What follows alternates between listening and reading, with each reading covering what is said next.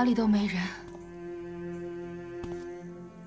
这根本是一座死城。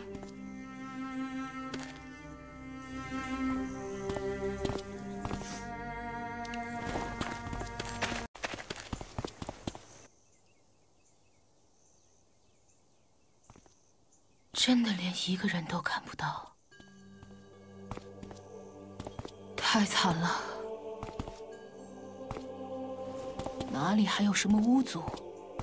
傣族人千辛万苦来到这儿，看见的只是一个空掉的巫之国。那些留在永生之皇的人，永远都不会知道，外面竟然是这个样子。傣族早就被抛下了，什么都做不了。你是不是觉得我很没用？我在阳平梦里的时候说要救大家，最后也是一无所成。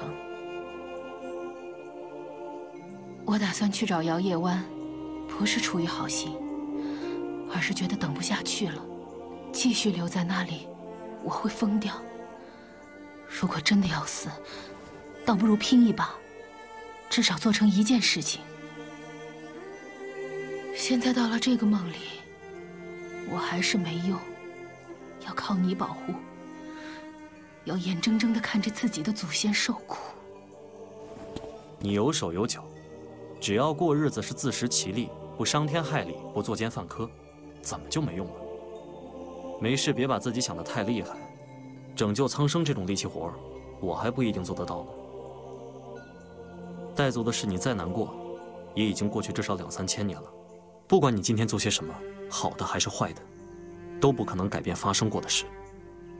既然你还在这里，就是带族的血脉延续了下来的明证。眼前的只是梦，我们能活着回到现实中才是最重要的。都只是梦，没错，是我把自己弄乱了。这些日子里，我总忍不住胡思乱想。放心吧，我绝不再说什么丧气话了。想想，这也算绝无仅有的经历。以后我的故事里。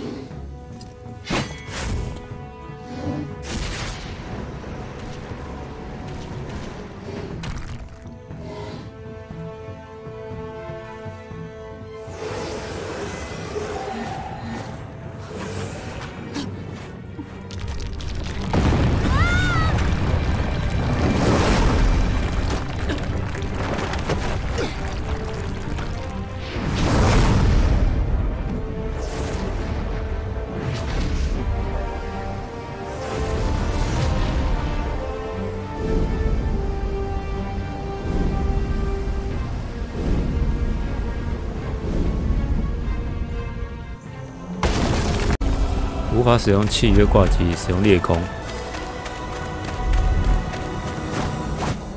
哇，这个战斗，哇，第一次在这这种地方战斗战斗哎！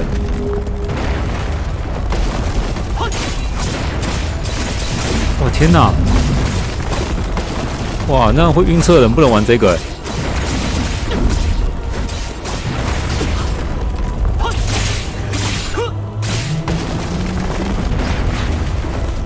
않을까?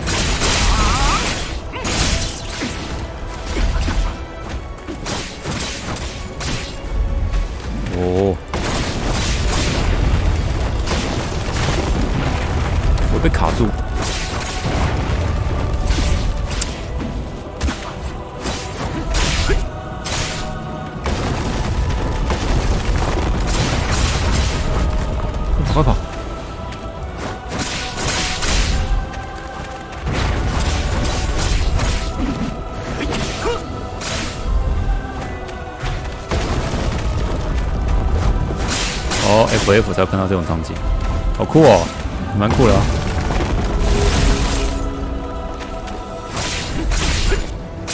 而且公我被我击飞出去，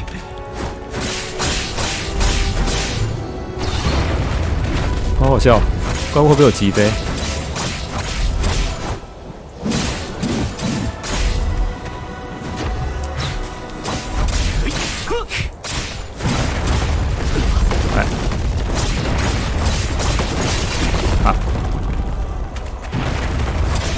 车了吗？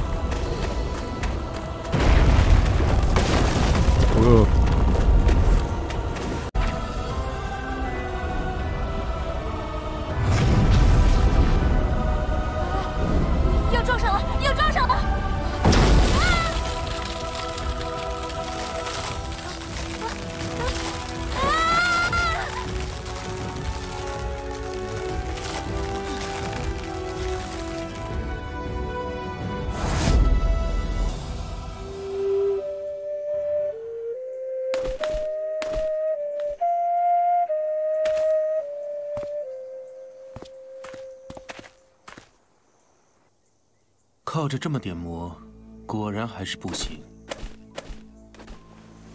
魔是你引过来的，这次你又想做什么？当然是想要你死。这里是梦中之梦，与现实有着重重阻隔。就算是一只王辟邪陨落在此，辟邪族也很难查到什么。我一直想说，凭你也用得起太岁。怎么？莫非让你想起了被禁云斩首之痛？你同他已经见过了，不然又怎么会知道他这个梦境的主人，纪灵族所在梦境的真正主人？看样子，你还是一无所知。想杀我？我的命也不是那么好拿的。生死之战，你我一样都在生死之间。的确长进了许多。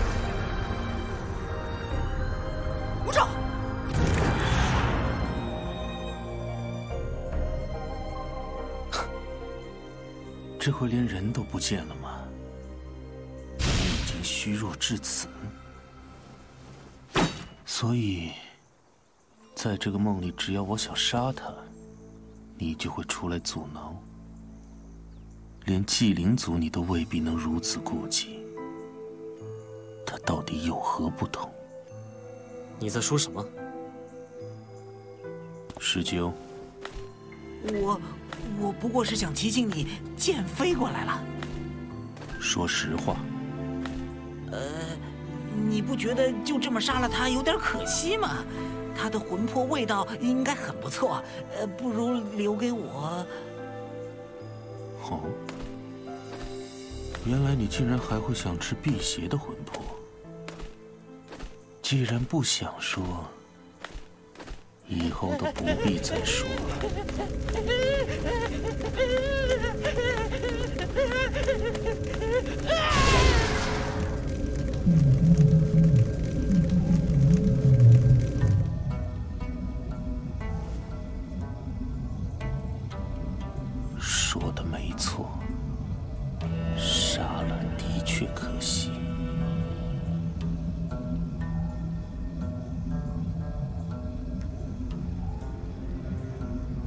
你叫北洛是吗？我会送你一份永生难忘的大礼。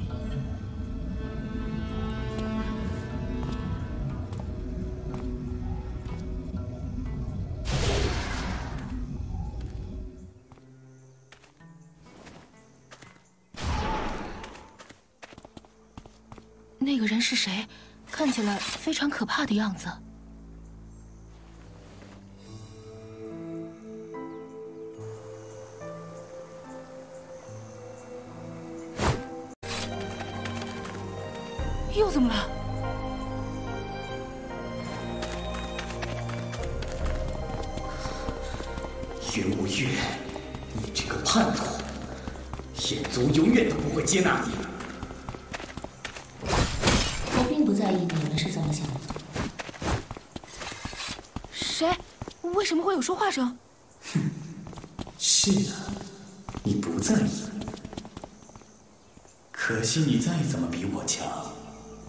也终究不能杀我。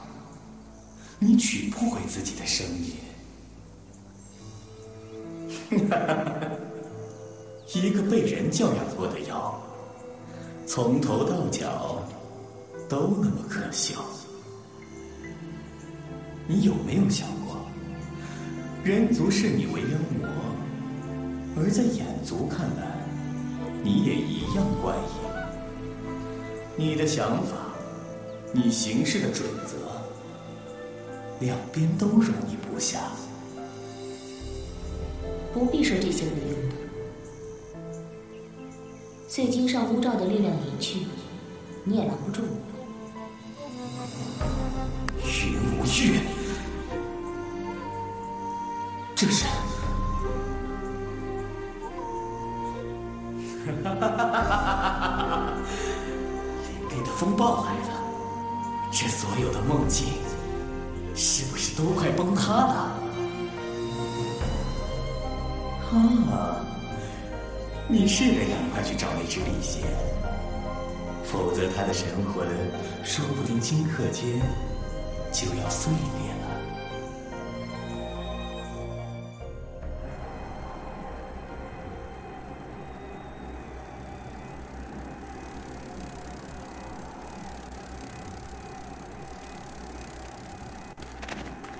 那是出口，我们过去。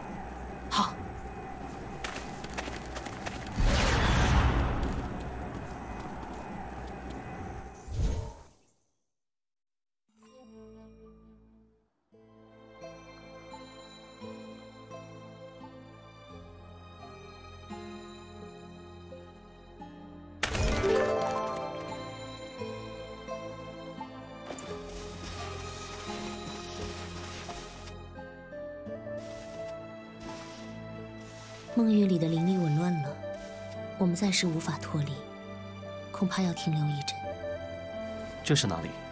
我的乾灵境之中，亦是力量所能庇护之地。刘兄呢？除了他，也还有别人的意识来到这里避难。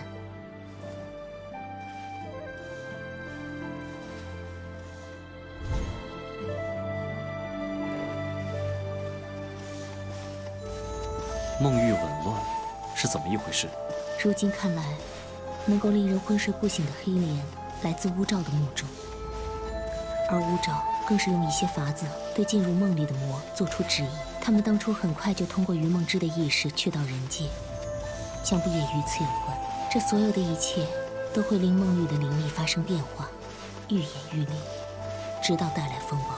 风暴？那些做梦的人和祭灵族又会怎样？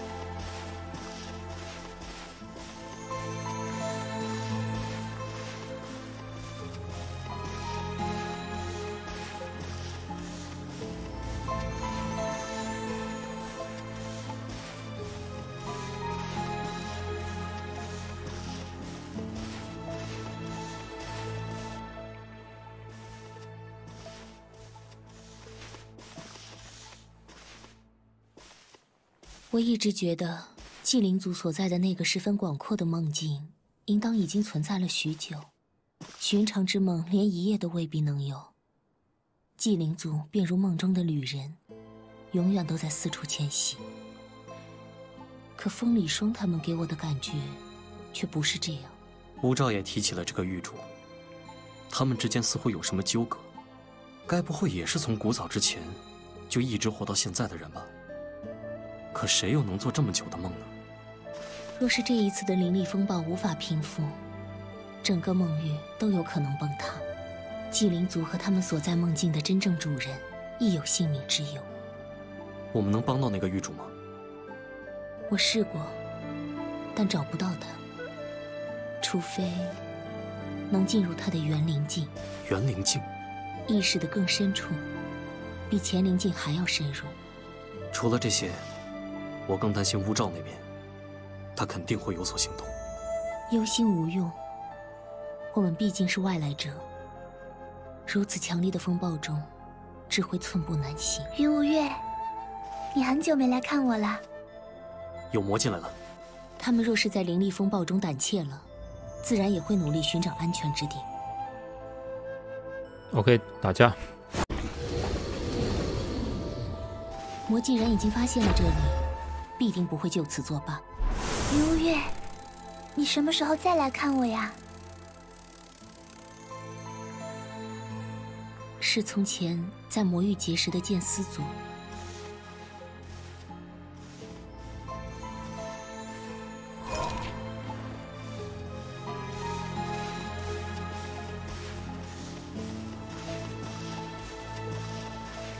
你似乎有话想问。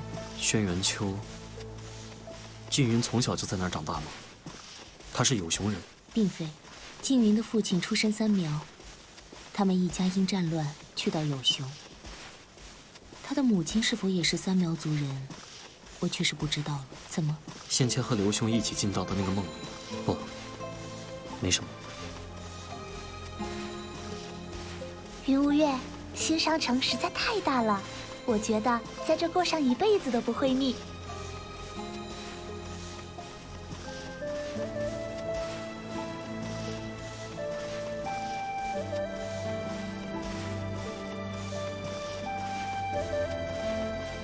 喜欢这么热闹，这里的房子也很好，比黑黑的笼子好多了。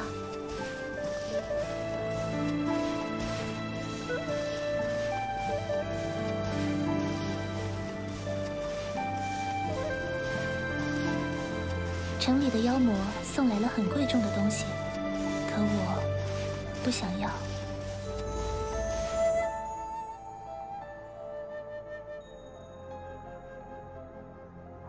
云无月，请你不要忘记我。只有你看到的才是我吧？这小东西只是幻影，对吗？或者说，是你的记忆？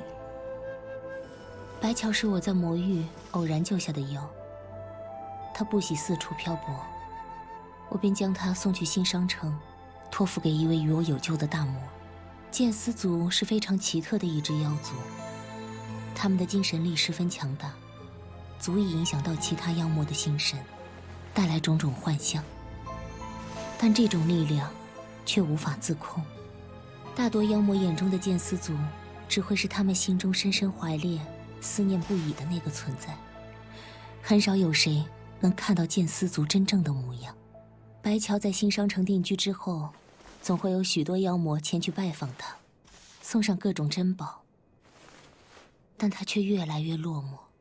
我最后一回去看望他时，他说希望我可以永远记得他，记得白桥，而不是别的什么。云无月，其实有时候。他们的确很可怜，我也想帮上忙，可我又不是真的，我只是一个影子啊。你不想见到缙云吗？缙云已逝，这上面的是什么？一个印记，我在自己的意识中留下的印记，为了不要忘却。眼的寿命很长，甚至有万年之久。我们可以窥见意识的奥妙，必然也更容易被反噬其身。遇到过的人，发生过的事，都必须随着时间的流逝不断的遗忘，否则自身的精神将无法承受。那如果有一天，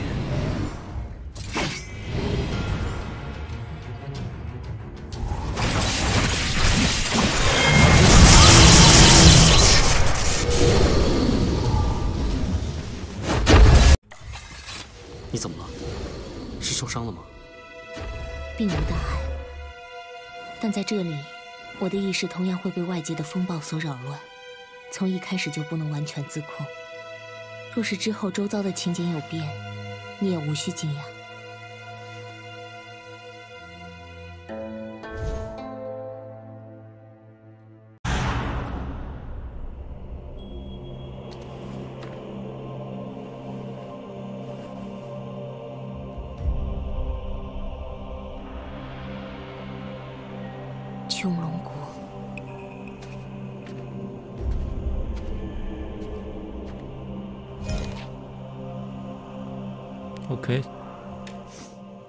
前走吧。应该简单的打怪而已嘛。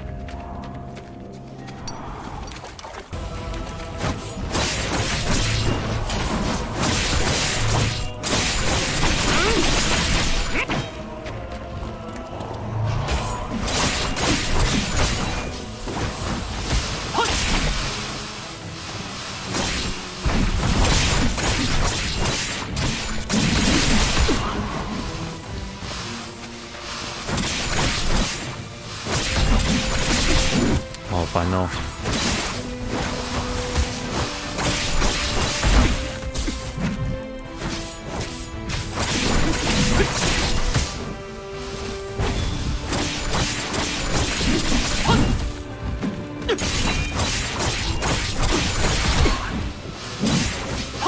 我可以把它打出来吗？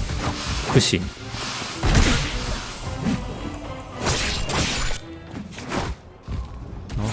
解决掉入侵的魔物，也要打死四只。是在祈愿。是穹龙国圣级义士，他们有自己的信仰，十分虔诚。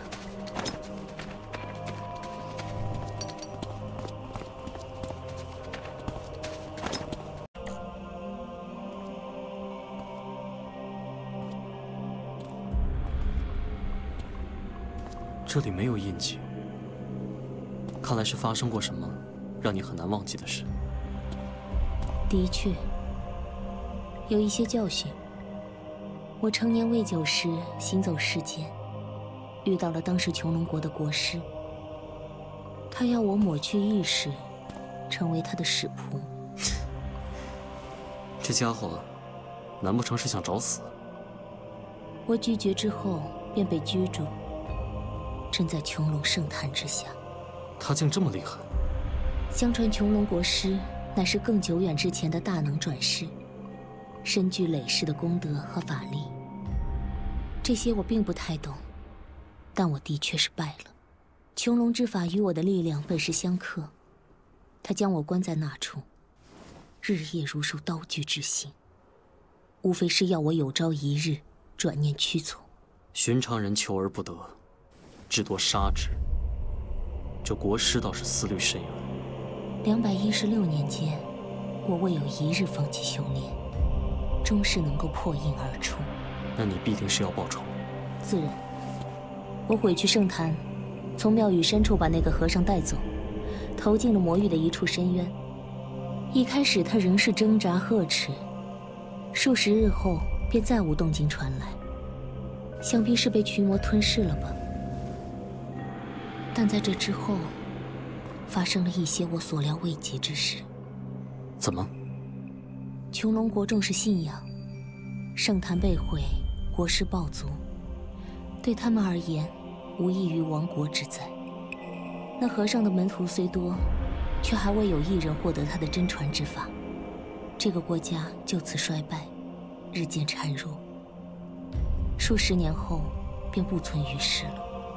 你是觉得不该取了他的命？我从未后悔，只不过有时会想，我是否成为了一个太过突然的契机，带来某种无可挽回的转变？人的国聚沙成塔，而后又风流云散，在千年之间数不胜数。但这毕竟是人族兴衰，本不该由我介入。谁又有未卜先知的本事？那什么国师抓住你的时候，怕是只做着称心如意的美梦吧？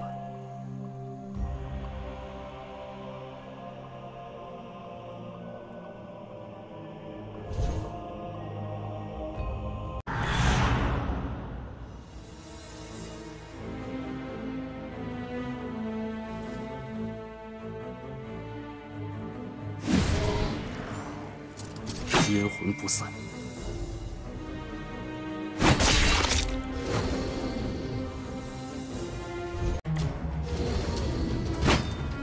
这跟割韭菜似的，一茬又一茬。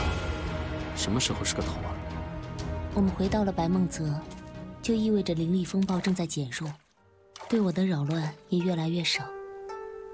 且在此地等上一阵。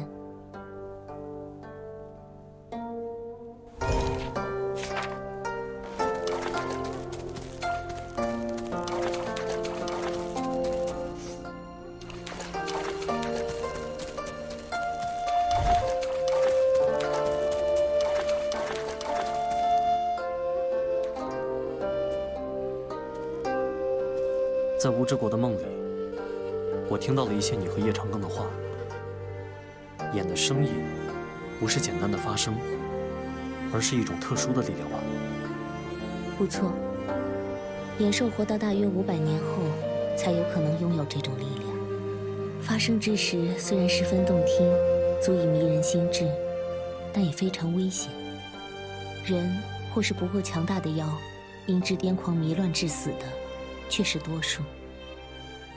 我幼时不懂这些，还盼望着长大了要唱歌给静云听。静云不是有辟邪之力吗？也会受影响。但他终究是人族，只怕有害而无益。昔年海上有庆耳国，据说他们的国民一生都在追逐这世上最好听的声音。他们寻过鲛人。也寻过渔父，最后找到了眼族。那个眼倒不愿随意杀生，便说我若高歌，你们举国皆亡。那些人却回答死也甘愿。于是眼为他们歌唱一曲，从此世间再无青儿。这也是疯魔了。一生急于一世，既是自己选的。旁人也无可智慧。眼族的声音这么厉害，肯定很重要。你的又怎么会落到别处？千年之前，我与叶长庚做了一个交换。那时的人界修行门派颇多，其中不少都以灭除妖族为己任。妖丹和妖蛊也被他们肆意争夺。那两族间，岂不是势同水火？正是如此，有些小妖便被鼓动，围住了一座并无修行者的人界城池。他们决定要给人族一个教训。然而双方却是落入某个大妖的局中。我虽能够牵制大妖，却无暇兼顾城中。毕竟城池内外都有他安插的族属，必要时自可大开杀戒。就在那时，叶长庚说他能帮我。不过他不久之前与别族争斗，失去了生意，便要拿走我的。你难道不会觉得这里面太过巧合？但当时已是箭在弦上，并无更好的法子。我与那大妖搏杀之时，他也的确护住了城中。但这其中的艰险，恐怕只有你自己明白。这样做真的值得？那些被救的也未必感激你，他们甚至连对错都不一定分得清。不需谁的感激。若是碎了那大妖的愿，终归是些无谓的流血罢了。至于对错，那是人族才会执着的东西。他们花几百年或是上千年去争论一桩事。既然千年之久都未必能有定论，甚至今日的错，转眼就变成明日的对，那我又何必在意？哪怕身后因果随行，我也已经做出了我的选择。便是静云，一生征战，往来于尸山血海间，又如何便说他是否错杀一人？也是，有些东西原本说不清，只看怎么选罢了。但你的生意就这么算了？我说与他一时，又不是与他一世。只不过如今还无法取回。为什么？眼是不能杀死眼的。关乎性命之事，力量便会受到禁锢。无非是我不够强大。若是够强。这禁制又算得了什么？是的，总有一天要物归原主的。事在人为，为者忠诚。生死之外，又有什么是一定办不到的呢？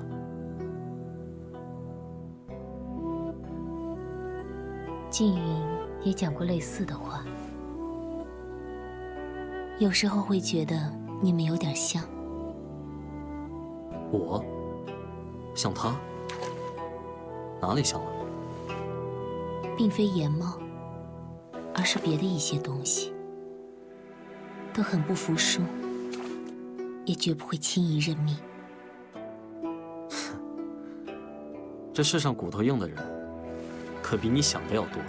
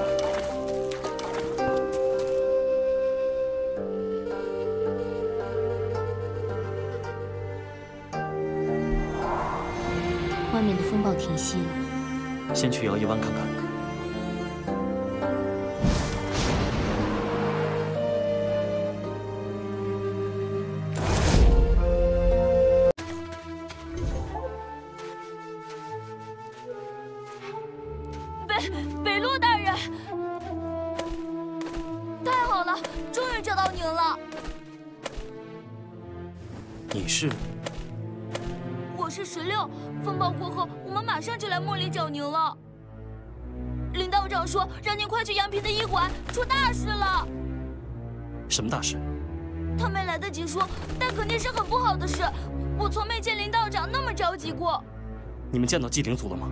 嗯，风暴来临前，他们有些人就已经去了那个金天轮里，剩下的人守在外面。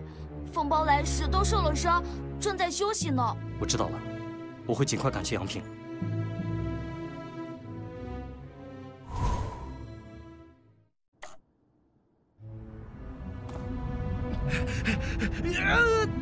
啊！啊！杀了我，师兄，求你杀了我！我不想变成那样。啊啊！宗平，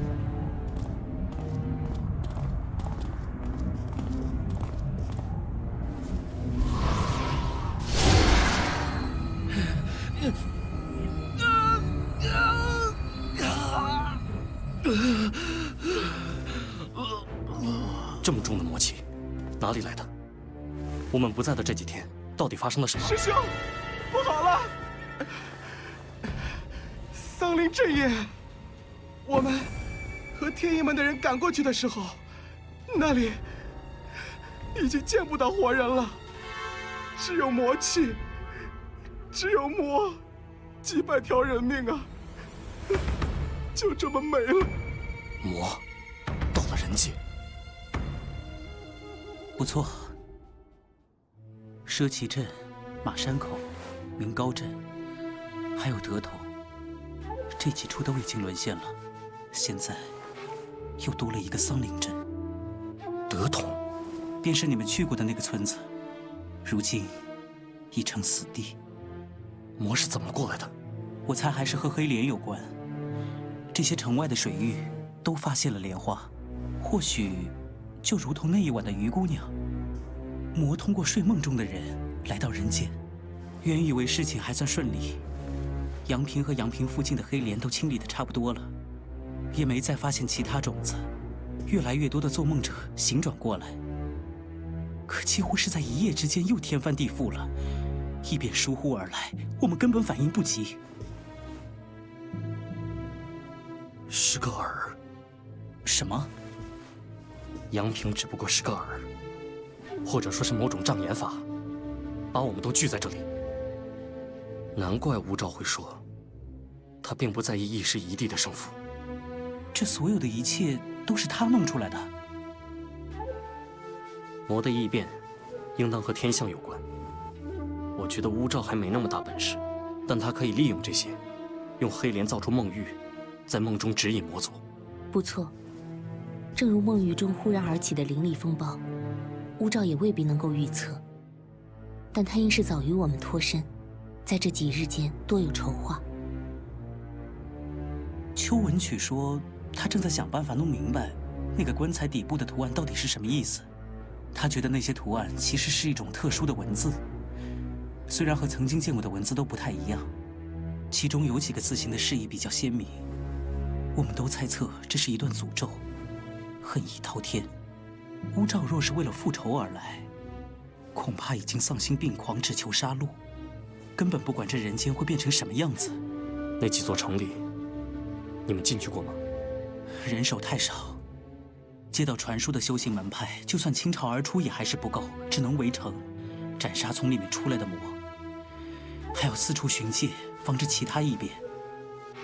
各门派仍然在陆续调集人手，人再多一点就好了，至少能分出一些去毁掉那些黑莲。出了这么大的事，州府也已经开始集结军队，可军队又如何能对抗魔？我过一会儿也要走了，去蛇旗镇记下长城师弟。之所以在这里等着，一是要和你们把事情说了，二是想请你们去探查一下燕岭。燕岭怎么了？和其他地方不一样，像是被什么东西挡住了，完全看不到里面的情形。我们有人进去，却再也没出来过。我怀疑，那里有某种法阵。法阵？我们这就过去。你问我们有没有入城？其实入不入城也无太大分别了。方圆数百里，魔气冲天，黑雾缭绕。若说城中还有活人，怕是连自己都骗不过去。如今，只能尽力保住其他地方了。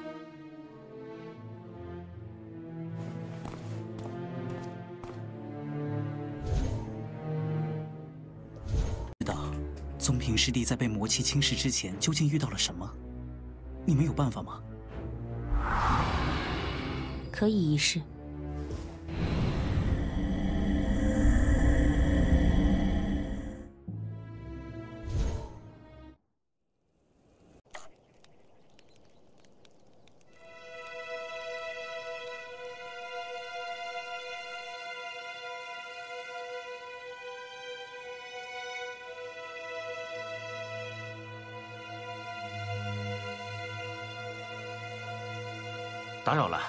在下想问个路。嗯，请问，原来是睡着了。再去问问其他人好了。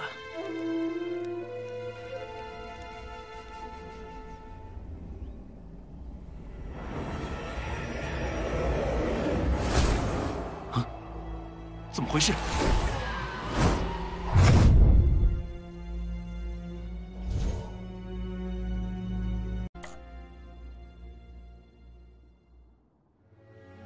和我料想的差不多，是我害了师弟。先前收到小英子寄来的一幅画，上面说你们在德同村外的山里发现了一座奇异的祭坛。他问我有没有见过类似的形制，我对这事很有兴趣，都想亲眼过去瞧瞧，却又一时抽不开身，便让宗平师弟先探查一番。谁又能料到德同惨变？他去那里的时候。奢旗镇那几个地方是不是还没出事？对，而且这种山里的小村落，即便是御剑巡视也很难注意到。眼下都不清楚，是不是还有其他这样的地方？晚些我去德通看看，想办法把那里的黑莲毁了。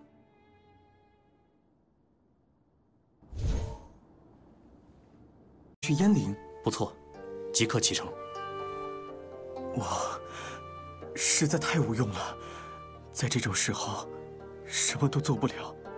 葛先生和师妹他们，都还在那座城里，不知生死。如果你还能见到他们，能不能？能不能？只要找到人，我会把他们带出来。多谢。不用说谢，再说岑英也是我的朋友。听说你在研究那个棺材底部的文字。是的。从古至今，从图案到文字，形制虽然在不断演化，但也并非无迹可寻。我的推断还未能与学会内其他人印证，只是有了一些猜测。这是一段诅咒之语，其中提到了血和星辰。血和星辰。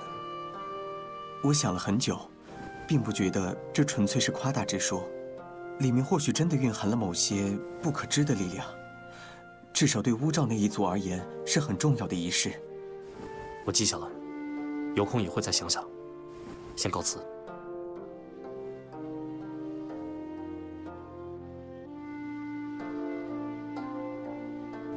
在栖霞寻找线索吗？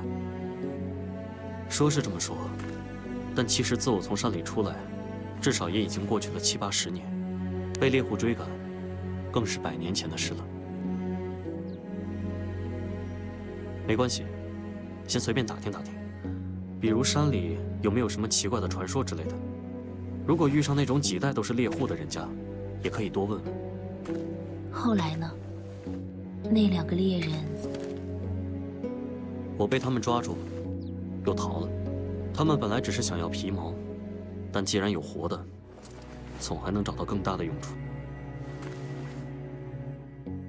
没什么，都过了那么久，而且我也没受多重的伤。如今我还在，当年的那些人已经化为尘土了。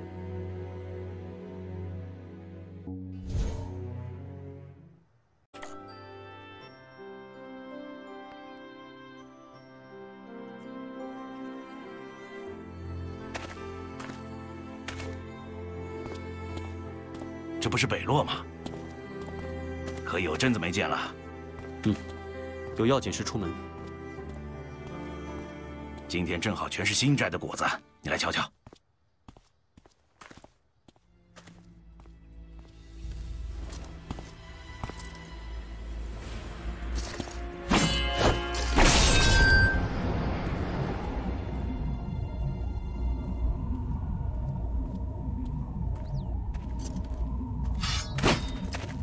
是去剑罗吧。若是你我在此处用剑，整个街市恐怕都将片瓦无存。你是那柄剑？幼灵，但求一战。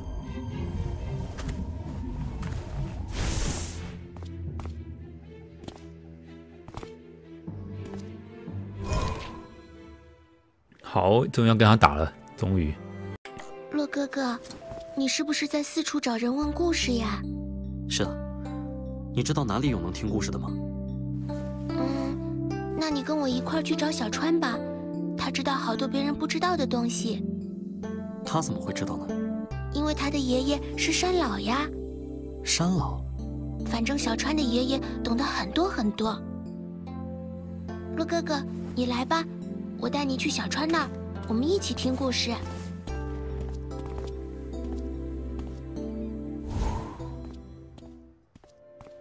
花小川，你在这里做什么？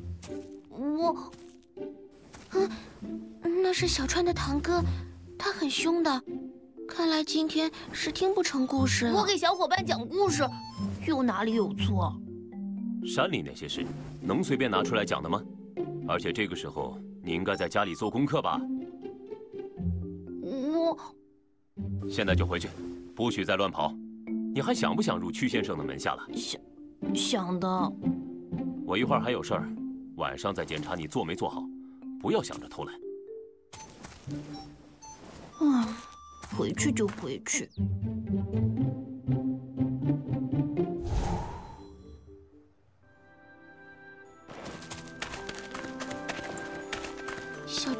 可怜。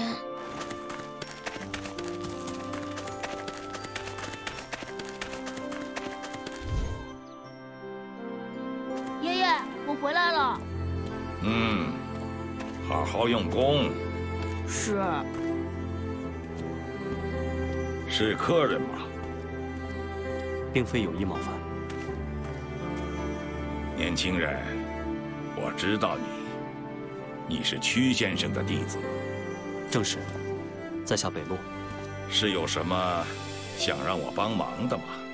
我想打听山里的事，几十年前，一百年前，甚至更早的。山里的事，那可不能随随便便的打听。山也是会吃人的。吃人？走吧，我没有什么可告诉你的。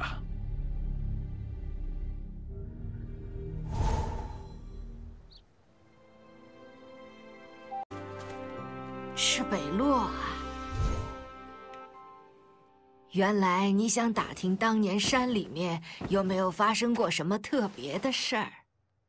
这样讲起来，还真是有一桩的。请婆婆同我说说看。嗯，这进山最多的嘛，不是打猎的，就是采药的。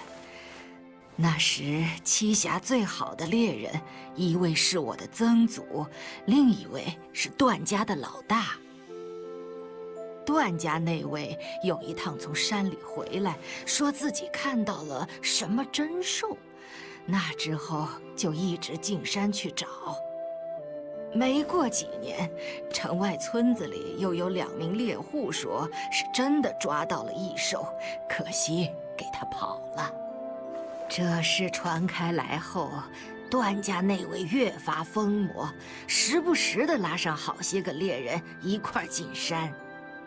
我曾祖倒是一次都没去过，直到他过世，段家那位也还没死心。好像是说，后来有一回他们又进山去，就再没出来过。我知道了，谢谢婆婆。这有什么好谢的？都是些陈年旧事了，我也是听我的长辈说的。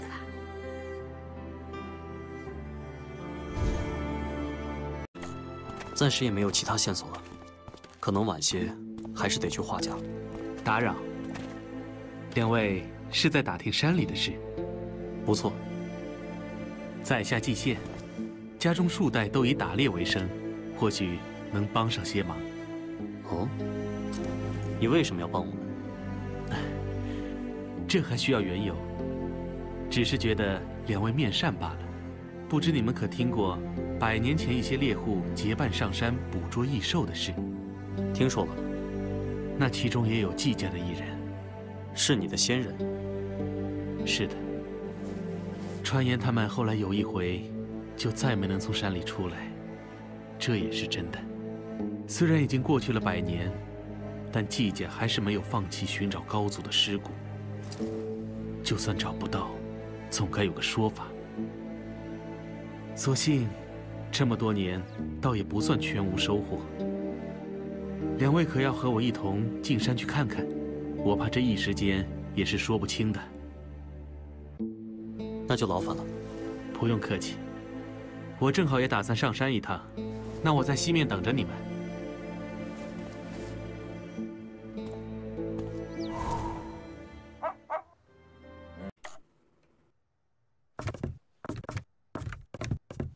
这就走吧。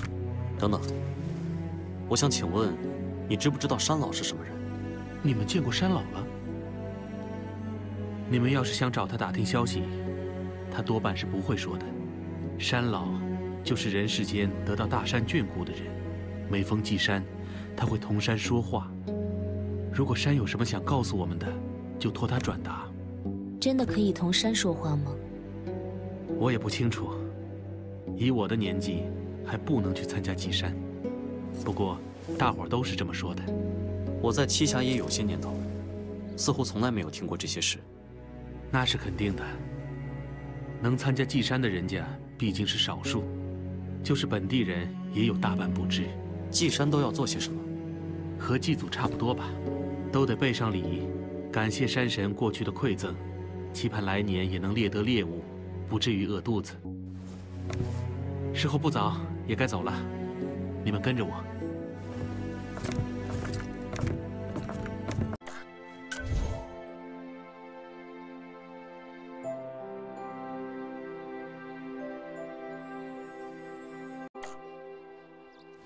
这屋子是专门给上山的家里人用来歇脚的，里面有些东西，两位不妨先看看。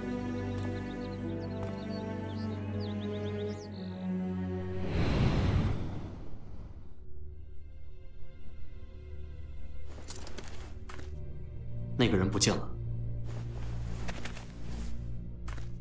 这里才是他想带我们来的地方吧？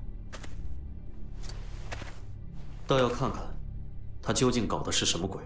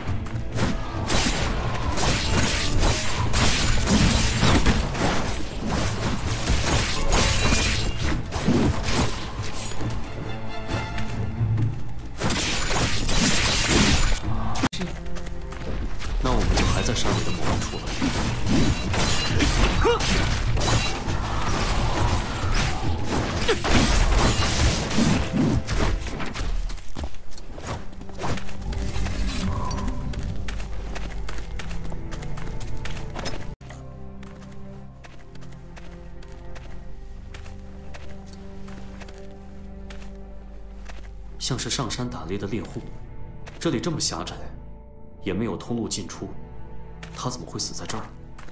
你还记得山老说过的，山也会吃人吗？再看看其他地方，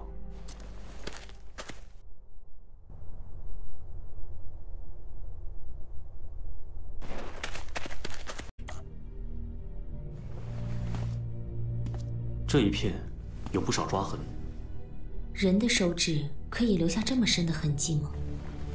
不要小看人在绝望里会有的力气，这个人被困住，一定会想尽办法逃出去。山石上也有不少挖凿的痕迹，但可能是因为没有趁手的器具，或是时间不够，终归没能挖通。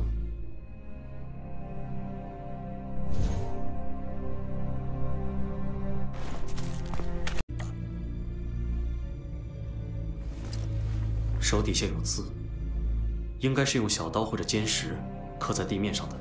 可以辨认出来吗？有些被划去了，写错的也很多，意思勉强能连起来。我们错了，不该为了捕捉异兽，杀死那么多别的野兽，更不该放火烧山，害了几个隐居在山里的人。我们太贪心，触怒了山神，祈求原谅。这些人。果然就是当年的狩猎队。他们说自己做的事触怒了山神。真的有山神吗？也许是山之灵，虽然罕见，但山的确是可以成灵的。他们几乎不去理会人间之事。狩猎队激怒了他，也不知是在这山中做了多少伤天害理的事。这所有的一切，都因捕捉异兽而起。我们会被带到山里来。难道也是因为打听这些事情，又惹得山灵发怒了？若是按我的猜测，则大有可能。百年之间，人世几代，可对于山来说，不过须臾一瞬。这些人闯入山中，肆意屠戮，仿在昨日。那我们得先找到那个山灵，说明来意，而且有的是问他，可比问别人强多了。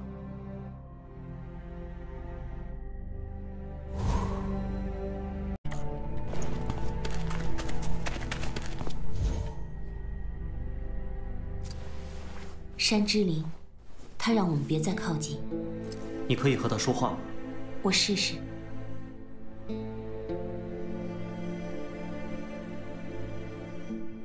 他说：“既然不是贪婪之人，就回到原处，离开此地。关于当年你来到崖山之事，他会让你看到山的记忆。山的记忆。多谢。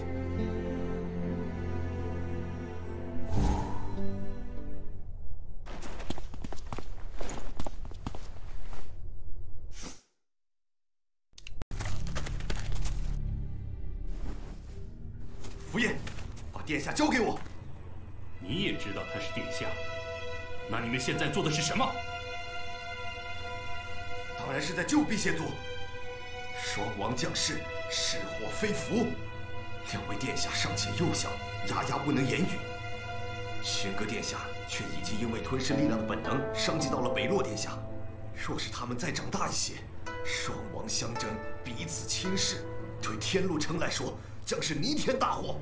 所以，你们决意指责其一，选了一个，就要置另一个于死地。这是王上和长老会共同的决定。可是，这一切都还未发生，你们不能因为一件尚未发生的事就断去殿下的生路。你以为，你以为我们想这样吗？傅宴，这次来的不止我一个，其他战士很快就会赶过来。你不用再苦苦挣扎了。既然王妃把北洛殿下托付于，我就绝无可能将他交给你们。符燕，就是我通过机灵族碎晶看到的那名战士。他为了保护我，双王吞噬，所以在旋风台上，我才会不由自主的吸收玄哥残留下来的力量。他也知道，一定会如此。王的力量竟是霸道如斯，若为双子，便彼此不能相容。原来当年是因为这样，比我想的最坏的那些已经好上不少。这就是山的记忆吗？山不变情感，他只会把当初看到过的那些还原出来。走吧，不知道还会不会有别的。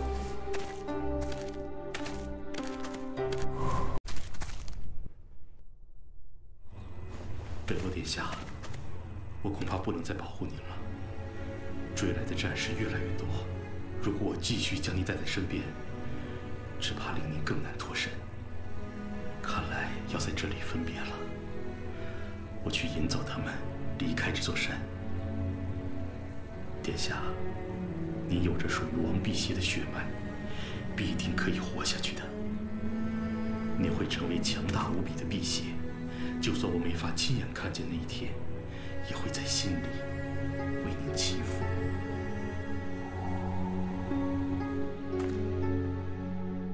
后来，他们应该都没有再回来过。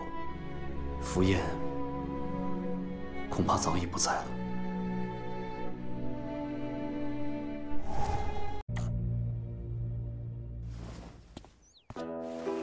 先前我们应当是在山腹之中，季羡究竟是谁呢？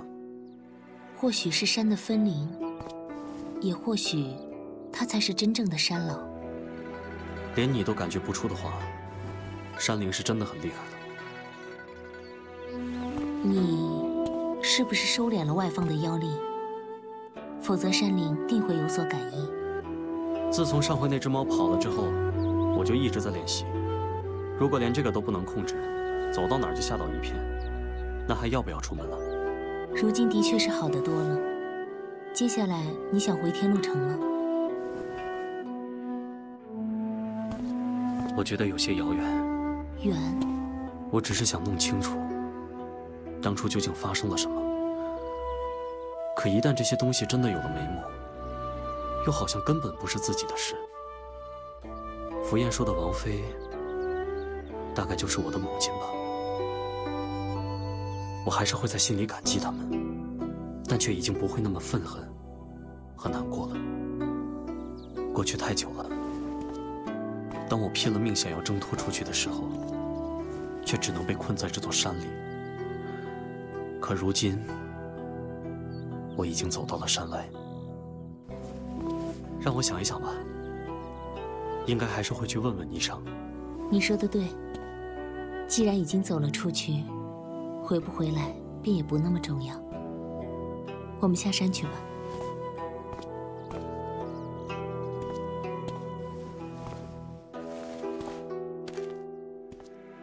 幼年飘零，身无所依。山虽不言语，却与我食物，与我清泉，与我遮阳避雨之地。猎人之事，我知道您并非对我有什么必有之情，只是因为天理生杀，不可扰乱。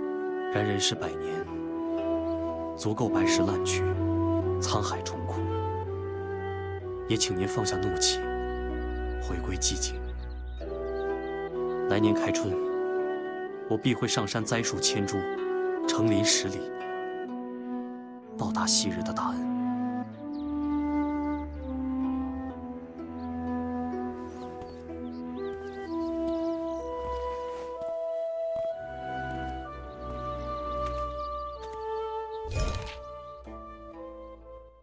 这个就是我 IGFB 还有退曲感谢各位今天今天的收看，希望大家会喜欢这款《古剑奇谭三》的游戏剧情内容啦。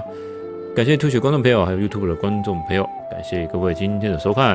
那我们明天再继续游玩《古剑奇谭三》。